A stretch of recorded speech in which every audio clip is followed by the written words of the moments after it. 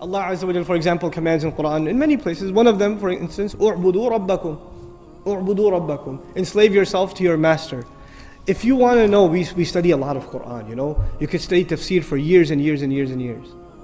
And somebody, uh, my teacher asked me actually, one time I was studying with him, and I'd been, studying, not years, I was studying Quran with him for like six months, and he asked me, give me the summary of the Quran, one sentence. Actually, and I said, one sentence? He goes, okay, fine, two.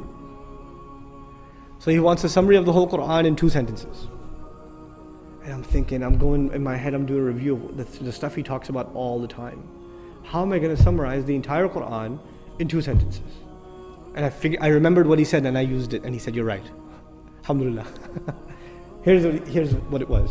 Number one, accept Allah as master and accept yourself as slave. A lot of people accept Allah as master, but they still don't accept themselves as slave. Just accept it. Internalize that, that He is master, you are slave. Accept that.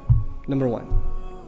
And after you accept that, the second sentence, accept that this guidance this guidance is only beneficial to people who accept themselves as slaves. That's it. You say, Iyaka na'budu, you accept yourself as slave. Then what are you ready for? Ihdina. Guidance. Slavery and guidance is the summary of the entire Quran. The Quran began with slavery. It begins with slavery, and at the end, again, he, he calls himself master, which alludes to us as what? If he's the master of the people, the people are his slaves ends with slavery. So he, this is the, the, the heart of the matter. A lot of people have no hard time accepting Allah as the creator. That's okay. That's not the hard part. Or accepting Allah as merciful, or as wise, or as powerful, or as one. All of that stuff's easy. Because you know, if you accept Allah as one, there may not be any implications on you.